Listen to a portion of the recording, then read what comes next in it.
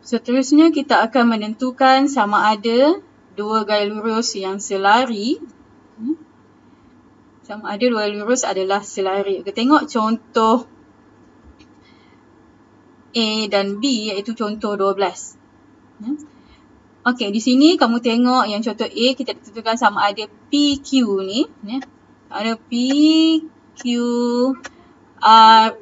S adalah selari. Okey. Kalau dia selari 48, ini sudut 48 darjah ni adalah sudut yang sepadan. Kalau sepadan nilainya mesti sama.